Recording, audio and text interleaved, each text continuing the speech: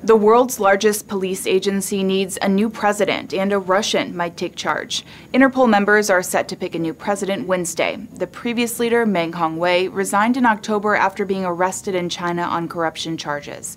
Any member country of Interpol can nominate someone for president, but according to the Wall Street Journal, Russian Major General Alexander Prokopchuk and the current acting president, South Korean Kim Jong Yang, are the two named candidates to fill the role.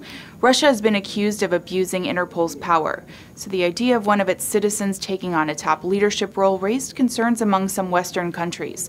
A bipartisan group of U.S. senators issued a statement Tuesday opposing Prokopchuk, saying his leadership would be, quote, akin to putting a fox in charge of a henhouse. U.S. Secretary of State Mike Pompeo said the Trump administration is supporting Kim. The Washington Post says the role of president is more ceremonial than instrumental, noting that Interpol's Secretary General is more of a day to day leader. Whoever is chosen to fill the position will do so until the current terms end in 2020.